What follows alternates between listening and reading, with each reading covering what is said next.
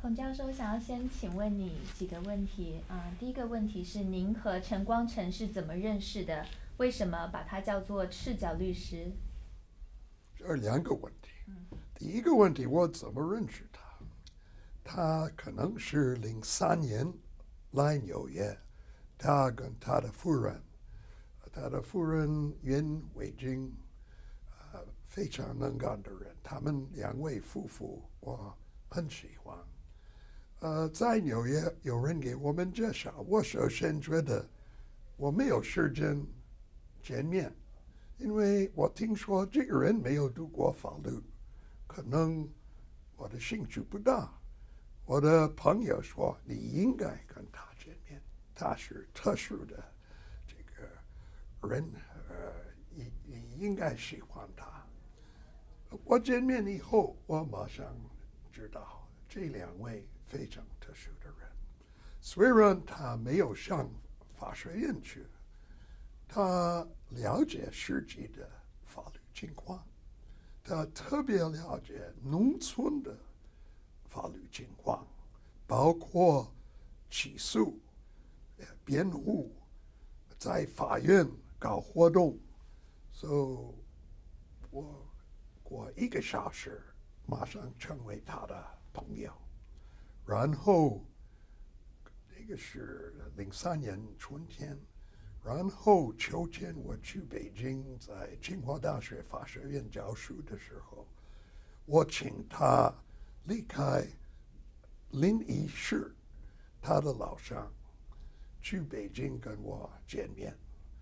在那个时候，我们交流很长时间，我也陪他去新华书店买法律书，因为他很喜欢继续自学。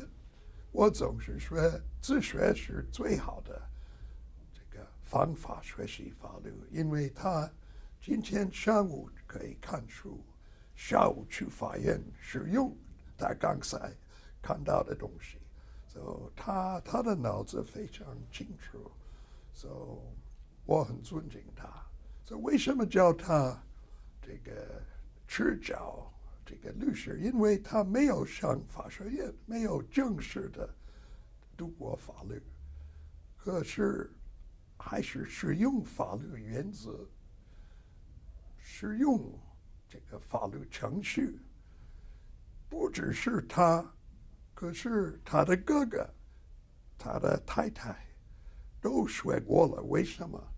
因为陈光诚自己是盲人，他自己不能看书，所以每天他的太太或者他的大哥，呃，给他念，所以一起学习法律，实际上是一个家里的这个制造律师。去找律师的家庭，对家庭。庭的法律事务所。对，您能不能谈一下陈光诚的维权行动对于中国的维权运动有什么样子的意义？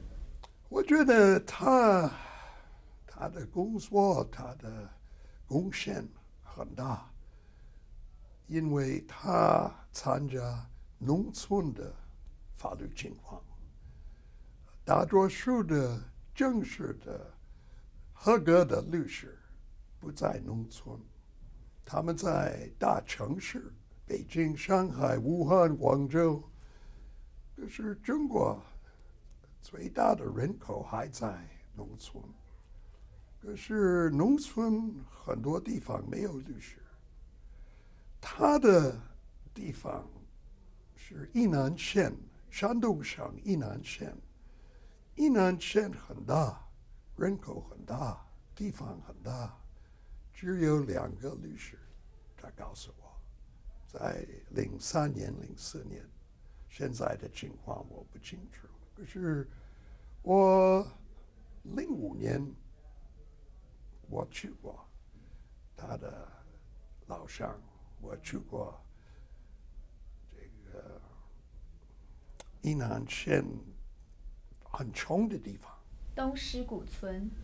呃，东施古村，对，也双双后双后镇，嗯哼，双侯镇，双后镇有很多村，离他的村离县城很远。他去过几次，请他们两位律师帮老百姓的忙，帮他的忙，因为他是盲人，他觉得很多官员歧视他，不帮他的忙。可是歧视他，也歧视很多老百姓。所以他首先请律师帮忙，反对政府的要求，用行政诉讼法、民事诉讼法。如果需要刑事辩护人，请律师帮忙。可是这些律师兴趣不大，他们不想反对政府，他们需要政府的。这个帮忙，他们也知道不能赚钱，这些人没有钱，这是为什么？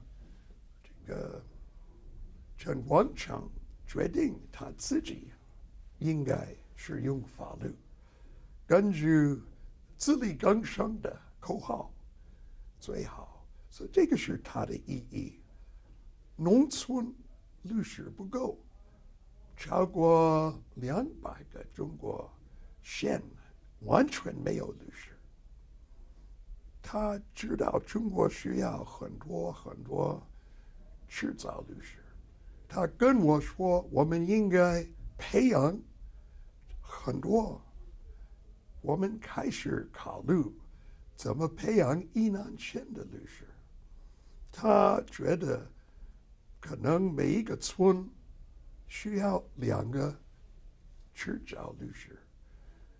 他的镇，这个双后镇有四十个左右，四十个这个村。如果每一个村需要两个律师，应该培养是一个镇应该培养八十个，一个县应该培养几百个，可能更多的。我总是怀疑有关部门允许不允许我们培养律师。可是陈光诚是乐观主义者，我们还没有准备好开始培养那个地区的律师以前，就地方的警察给他麻烦，也抓他。可是中国需要这样。这些人现在有一些中国有名的法学家认识到这个真理，也开始培养一些这个执教律师。可是我觉得到目前为止，这个数量不够，数字不不够。在去年的九月九号，陈光诚从监狱中被释放。那在他起诉审判的期间，很多维权律师呃来帮忙，那但是也遭到殴打。那在他被判刑之后，他的家人也过着软禁的生活，前后总共被软禁五年多。那他出狱之后，去年九月九号出狱之后，仍然受到迫害。您怎么解读这个时间？应该了解，人民所谓的这个民主，呃，这个专政，呃，这个是地方的独裁，地方的警察，这个宜南县的呃公安局，另一市的呃这个呃公安局的他们的国宝。他们跟他们的这个雇佣的流氓都不要他有机会自由谈话，自由离开他的这里，自由跟他的村啊、他的县的老百姓交流。我去过呃那个地方的时候，还没有抓他以前，他我们花了一天，他陪我。这个介绍很多村民，我本来想可能村民不会喜欢他，因为他是一个法律积极分子。可是我看他跟村民的关系非常好，他们都尊敬他，喜欢他，也对我非常客气。所以他跟他的邻居的关系，呃，特别好。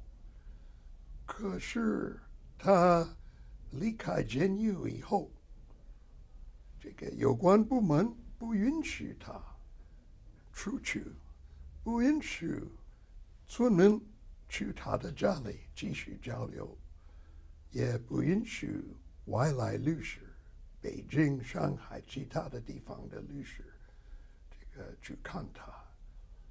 So 他们用暴力对这些人，他们行为很不好，违反国家的刑法、刑事诉讼法。So 我觉得非常不漂亮的情况。我自己想再一次去看他，可是北京的朋友、法律界都告诉我，我没有办法。也有一些北京律师朋友出国以后，警察殴打他，殴打他们。So 这个不是一个法治的情况。也我们知道，这个过四年三个月在监狱以后，陈冠成还是保留他的法律改革的精神，他还是想继续保护这个需要保护的人、老百姓的人。我在他的家里的时候，我花了一天。访问他所谓的当事人，他给我介绍各种这些人情况都很穷，都问题很大。他不要钱，给他们免费的顾问，给他们很大的帮助，他们都感谢他，尊敬他。可是出狱以后。没有办法继续帮他们了吗？他跟他的夫人完全没有办法跟别人有关系。So，现在我们很难知道他们的情况。呃，刚刚前不久，二零一一年的二月九号，对华援助协会公布了陈光诚的一段录影视频。里面陈光诚跟袁伟静，就是他的夫人，都谈了他们被软禁的生活。您也看了这个视频，您有什么感想？我刚看过了，非常感动的。他们两位是我的好朋友，他们很老实介绍他们去年底的情况。我听他们的话，我看他们，我知道。他们受到了这个呃损失很大，呃，陈冠成自己看起来不好，我知道他的身体不行，他的肚子不好，在监狱肚子不好，离开这个监狱以后还是没有解决，因为有关部门不允许他看病，不允许他去医院。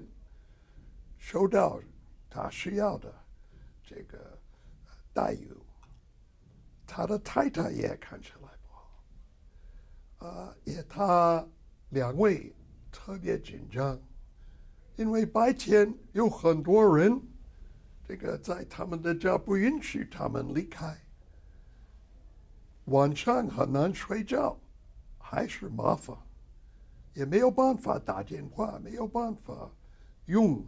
呃，他们的呃这个计算机，他们的电脑、手机，对，电脑、手机都没有办法使，没有办法使用，呃，so 已经很长时间。袁伟静也没有办法出去买菜，全部要靠他的呃就是陈光诚的母亲出去买菜。他们有两个孩子，孩子也受到影响。如果孩子留在他们的家，不能出去上学，所以他们的呃一个孩子应该去这个袁维京的妈妈的家里，这样可以上学。可是其他的他们的女孩没有办法上学，So，。但是陈光诚还是保持的一个很乐观的态度。他在这个视频里面的讲话，还是谈到了很多他对于中国法治的一个啊、信心，跟他希望这个中国法治可以进步的一个发展啊、您怎么看他的这个态度？应该尊敬他，还是乐观主义者，还是支持民主、法治、法律改革。他还是想应该使用国家的法律机构，呃，不能用非法的行为。上次我跟他见面，还没有抓他以前，他问我：“这个政府官员他们要什么？”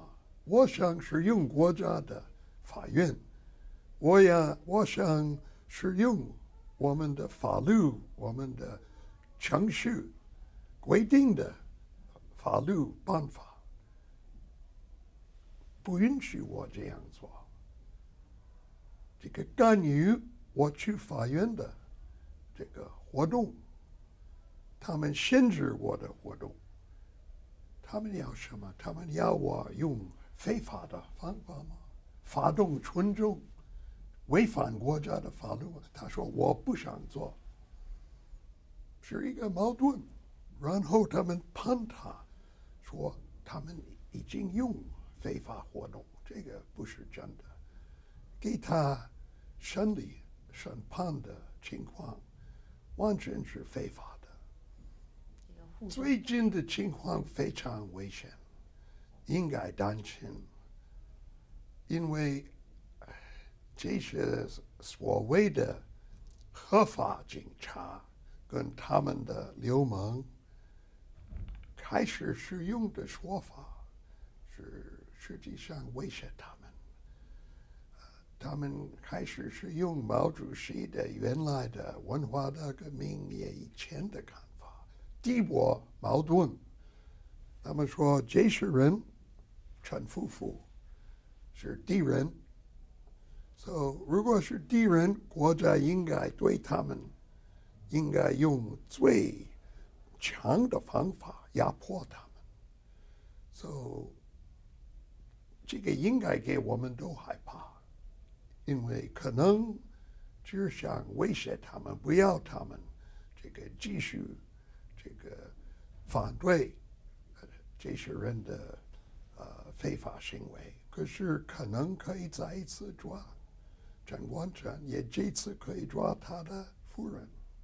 他的夫人我们知道已经开始担心，如果他们两位这个在看守所、在监狱，孩子怎么样？您觉得我们外界可以做些什么来帮助他们？现在这个政府不允许我们跟他们有关系交流，可是我们起码应该给这个全世界了解他们的情况。呃，他们应该了解实际的呃中国这个所谓的法治情况。虽然共产党领导对于中国人口的贡献，在很多方面是好的。关于法治方面，我不谈宪法的名词，我不谈这个颁布法律的规定，我谈实际的情况、执行的情况，情况很不好。如果有人要自由说话，如果他想这个。参加法律改革活动，经常压迫他们，也我觉得现在的情况，十七大以后的情况，比以前的情况更坏，所以我想。起码应该告诉其他的国家、其他的呃人了解实际的情况。也我知道中国政府关注其他的政府的立场态度，也关注其他的国家的老百姓的看法。所以，我想我们可以给他们更多的压力。停止这样的不好的行为。当然，中国中国自己的老百姓最后应该决定他们自己的命运。这是为什么现在中国政府不要他们的老百姓知道埃及的情况，也其他的这样的国家的。情况，他们害怕，这是为什么？他们压迫陈夫妇。孔教授，非常谢谢你接受访问。我想你现在正在做的，就是我们可以做的，就是把这样的信息传播出去，让更多的人知道陈光诚的情况。谢谢你。谢谢你的好问题。